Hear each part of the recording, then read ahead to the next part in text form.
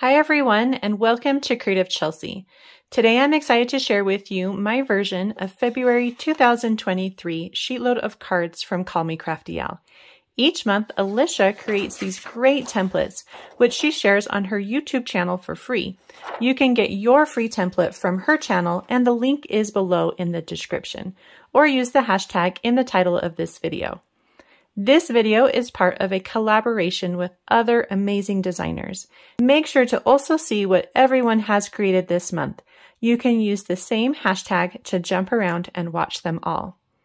If you are new to my channel and want to see more of my videos, click on the subscribe button in the bottom right corner.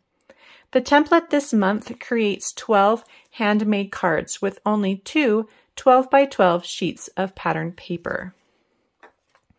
For my cards today, I wanted to create with some of the Sale-a-bration products from Stampin' Up. These products are only available with a qualifying order and until February 28th. You can request your own copy of Sale-a-bration Catalog or any of the upcoming new catalogs by clicking on this link in the top right corner. The paper I chose to use is called Dandy Designs Designer Series paper. It comes with 48 12 by 12 sheets and has 12 different double-sided designs. I wanted to show you two versions of my cards, so I used four sheets of paper. Look at all these beautiful patterns of paper here. I also love this cute owl from the Adorable Owl stamp set. And I love the different ways you can color it in. I used my Stampin' Blend markers in coordinating colors to give these cute owls personality. Here's the stamp set that I used, and again, this is another Sale-a-bration item.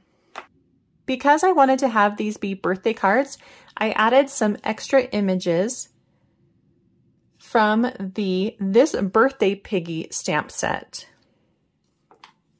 So here is that this birthday piggy. You can see that I've added the balloon on these cards and then this cute cake on these cards. I just love how these cards turned out.